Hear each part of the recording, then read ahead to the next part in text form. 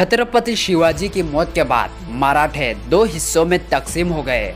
मराठों के एक गिरोह, शिवाजी की मौत के बाद उनके बेटे संभाजी को अपना हुक्मरान बनाना चाहता था, जबकि दूसरा तबका संभाजी के 10 साल सोतेला भाई राजा राम को मराठों के ताजो तख्त का मालिक बनाना चाहता था।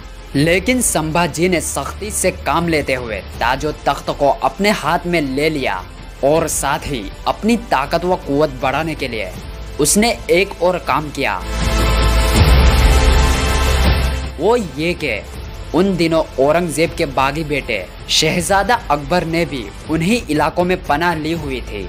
लिहाजा संभाजी ने उसके साथ राबता कायम करके उसे अपने साथ मिला लिया और उसे एक तरह से अपनी पनाह में लिया था। शहजादा अकबर के साथ संभाजी ने वादा किया कि वो न सिर्फ़ अपने बाप की मौत का इंतकाम लेगा, बल्कि शहजादा अकबर को हिंदुस्तान का शहंशाह बनने में मदद देगा। छत्रपति शिवाजी की मौत के बाद मुगल लश्कर एक तरह से मुतमिन हो गए थे कि अब कोई बगावत नहीं उठेगी। लेकिन संभाजी ने बगावत का सिलसिला शुरू कर दिया। कहते हैं कि वो दशहरा के त्योहार के बाद लश्कर लेकर निकलता और लूटमार करके अपने लिए दौलत के अंबार लगाने लगा। सबसे ज़्यादा उसने खानदेश और बुरहानपुर के इलाकों में लूटमार खड़ी की थी। ये भी कहा जाता है कि संभाजी की उस लूटमार के सिलसिले में बहुत से मुआज़ लोगों ने अपनी बीवियों व लड़कियों और बच्चों को इसलिए अपने हाथों से कत्ल कर दिया कि मराठों के हाथों उनकी इज़्ज़त व आबरू महफूज रहे। जगह जगह हमलावर होकर संभाजी ने बस्तियों को नजरे आतिश करना शुरू कर दिया। आखिर उसने अहमदनगर पर हमलावर होने की कोशिश की, लेकिन नाकामी का मुँह देखना पड़ा। दूसरी तरफ़ औरंगज़ेब भी गाफिल नहीं थे। उन्होंने मराठों के खिलाफ कार्रवाई करने के लिए अपने काम की इब्तदा की। सबसे पहले उन्होंने एक लश्कर, अपने सालार हसन खान की कियादत में रवाना किया, जिसने आगे बढ़कर कल्याण के किले पर कब्जा कर लिया। दूसरा लश्कर, एक और सालार शहाबुद्दीन की कमानदारी में रवाना किया, जिसने नासिक पर हमलावर होकर उसका मुहासरा कर लिया। इसके अलावा अपने एक और सालार गफरुल्ला और अपने बेटे शाह आलम को अहमदनगर की हिफाजत के लिए भेजा। अपने दूसरे बेटे, शहजादा आलम को एक लश्कर देकर बीजापुर की तरफ़ से मराठों को मिलने वाली इमदाद को रोकने के लिए रवाना कर दिया, जबकि अपने एक सालार, खान बहादुर को मराठों पर जरब लगाने के लिए रवाना किया। इस तरह औरंगज़ेब ने अपने कई लश्कर जुनूबी इलाकों में फैलाकर न सिर्फ़ बीजापुर के हुक्मरानों, बल्कि मराठों की अस्करी ताकत का भी नाक में दम करके रख दिया था। उन मारकों के दौरान संभाजी को अक्सर मुकाम पर शिकस्त का सामना करना पड़ा और हालत से मायूस होकर संभाजी ने इंतहाई जुनूब में गोवा की तरफ़ पुर्तगालियों के हाथ जाकर पनाह ले ली।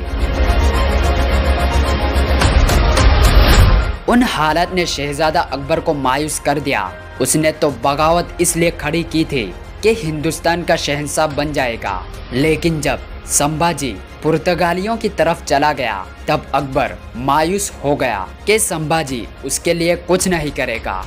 चुनाचे उसने इरादा किया कि वो एक कश्ती या जहाज़ पुर्तगालियों से लेगा और उसमें सवार होकर ईरान में जाकर पनाह ले लेगा। लिहाजा वो गोवा के करीब पहुँचा। नवंबर में उसने एक जहाज़ खरीद लिया और उस जहाज़ के ज़रिए ईरान की तरफ़ रवाना होने ही वाला था। कि संभाजी ने दो अशखास, दुर्गादास और अपने दस्तेराज कवि कैलाश को उसके पास भेजा और उसे ईरान जाने का इरादा तर्क करने के लिए कहा और उसे ये भी यकीन दिलाया कि अनकरीब उसकी मदद की जाएगी और तख्तोताज हासिल करने में अब किसी किस्म की कमी और कोताही नहीं की जाएगी। शहजादा अकबर मान गया और ईरान जाने के बजाय फिर शिवाजी महाराज के बेटे संभाजी के पास आ गया। अब औरंगज़ेब पूरी ताकत व कुवत के साथ मराठों के खिलाफ हरकत में आ गए थे। सूरत हाल ये हो गई थी कि मराठे आगे आगे और औरंगज़ेब के लश्करी उनके पीछे थे और अब बड़ी तेज़ी से मुगल लश्करों ने मराठों के इलाकों पर कब्जा करना शुरू कर दिया था। बागी शहजादा अकबर ने जब देखा कि उसके बाप ने बड़ी तेज़ी से बागियों को कुचलने के साथ साथ मराठों का भी कत्लेआम करते हुए उनके इलाकों पर बड़ी तेज़ी से कब्जा करना शुरू कर दिया है, तब वो बुरी तरह मायूसी का शिकार हुआ।